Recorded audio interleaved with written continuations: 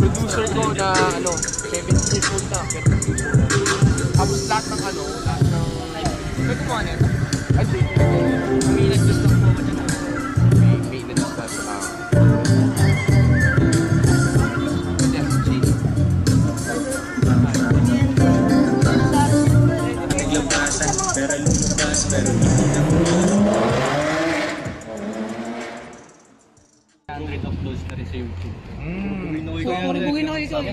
mga ganun tol, yung lalagyan nyo ng ganun. Yung pangalan ng rapper, tapos type beat. Matamang diskarte yun. Nakakala ko magagalit kayo nung pag ganun.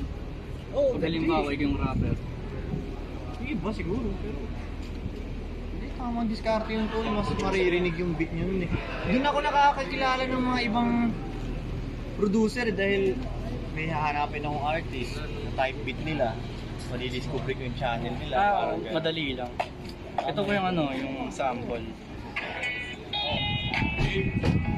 Nilagyan ko mo ng ano. Ano pang gawa mo? Madami po. Mga Hindi, anong, 300. ano, anong, pang, anong pinanggagawa mo? Anong gamit mo? FL Studio. Oh shit. Na, anong version mo? 20. 20 na? Mm. Sa inyo po. Yung dati sa akin, 6 lang ako eh. Yung unang panahon pa yun. Oh, With the legendary shit. 2010 pa yan eh. PNK. Four pa narinig- nga ata ito eh. 4? Ay na, ganun. Hindi, ano, doon ako nagsimula din. Tinigil ko lang yung paggawa ng beat dahil wala na akong time mo. With the big boss. Lahat ng beat niya, bugoy na koy koy.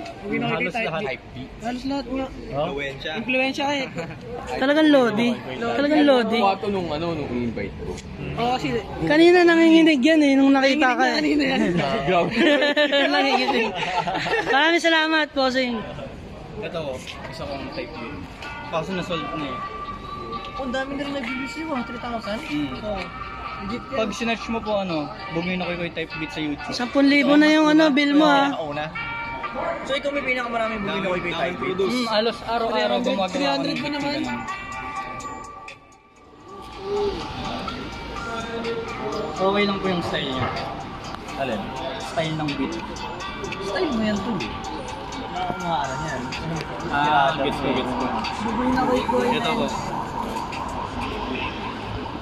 Intro. Ayun yung hook. Mm. Ako ko tigil ito. Mm. Ano to channel mo may ano na? May AdSense din? Ano, talaga naman. Pero hindi pa ako kumikita ng malaki. Hindi pa ako Oo na... nga, oo nga. Pero at least parang pasado na siya. Nakakuha ka na, hindi pa? Hindi pa Hindi pa. Mm. Magkano na yung mga na? Ano ba? Nasa magkano ka na? Mga ano, Kasi siya ng mga beat, puro mga puro pang Loving you gets better